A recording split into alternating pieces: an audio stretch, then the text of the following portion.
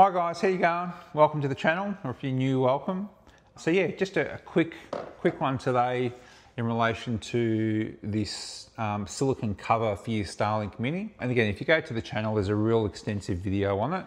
But basically, I was looking for a solution because I was really concerned with my Starlink Mini in relation to sort of water and dust ingress. So basically, I, I found this cover, which basically covers all the corners nice and neat. It's really easy to put on the unit, okay?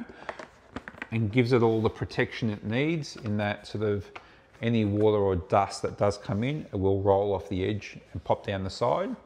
And there's really no opportunity to penetrate. The beauty of this too is this cover does not affect the data performance at all.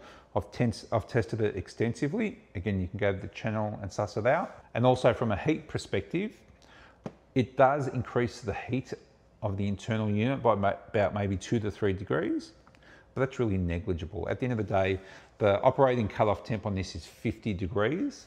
So unless you're in some extreme um, temperatures, it's not going to be an issue. So if you want to see uh, a more detailed review, go to the channel.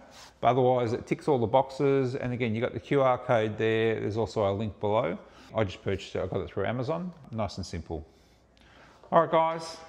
Nice quick one today. Like, subscribe, share around, and any questions, drop them in the comments below. All right, guys. Cheers. See you in the next video.